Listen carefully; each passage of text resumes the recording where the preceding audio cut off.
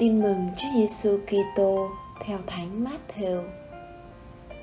Khi ấy, Chúa Giêsu của trách các thành đã chứng kiến nhiều phép lạ người làm mà không chịu sám hối.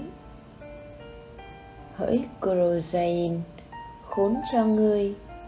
Hỡi Bethsaida, khốn cho ngươi. Vì nếu đã xảy ra tại Tiro và Sidon các phép lạ diễn ra nơi các ngươi thì họ đã mặc áo nhậm, rắc cho mà anh năn hối cải từ lâu rồi. Nên ta bảo các ngươi, trong ngày phán xét, Tiro và Sidon sẽ được xét xử khoan dung hơn các ngươi. Còn ngươi, hỡi ca phát na ung chớ thì ngươi nhấc mình lên tận trời sao? Người sẽ phải rơi xuống địa ngục vì nếu các phép lạ diễn ra giữa ngươi mà xảy ra tại Sodoma, thì thành ấy đã tồn tại cho đến ngày nay. Vậy, ta bảo thật các ngươi, trong ngày phán xét, Sodoma sẽ được xét xử khoan dung hơn ngươi.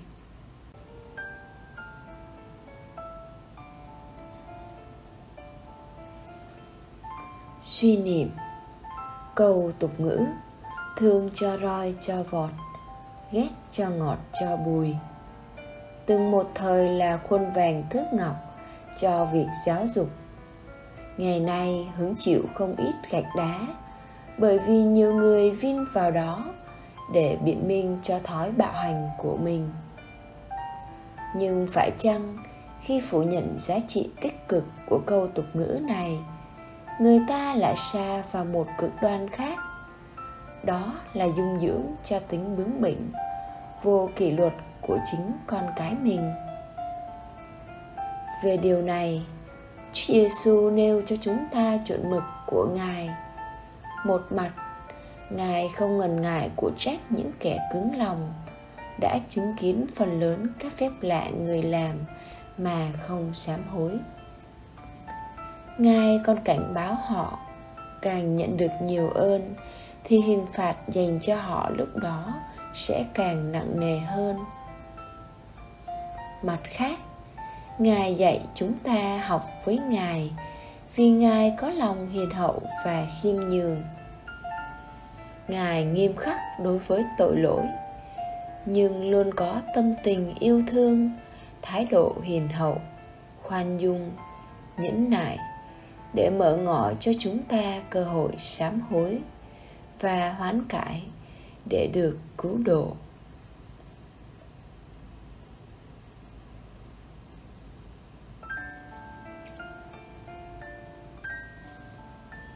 Mời bạn, mỗi biến cố trong cuộc sống đều là hồng ân chúa ban và là lời mời gọi sám hối và hoán cải đó là chưa kể muôn vàn ân phúc ngài ban cho chúng ta qua việc cầu nguyện, thánh lễ và các bí tích. Nếu chúng ta vẫn cứng lòng chai lì trong tội lỗi, thì một ngày kia trước tòa phán xét, chúng ta sẽ đáng nhận án phạt nặng nề hơn.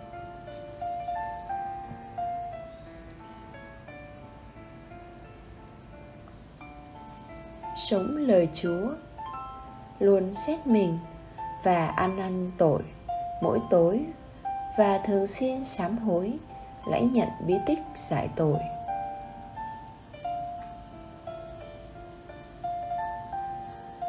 Cầu nguyện. Lạy Chúa Giêsu xin đừng để chúng con trai lì trong tội lỗi, nhưng xin Chúa giúp chúng con biết sám hối ăn năn để được ơn cứu độ. Amen.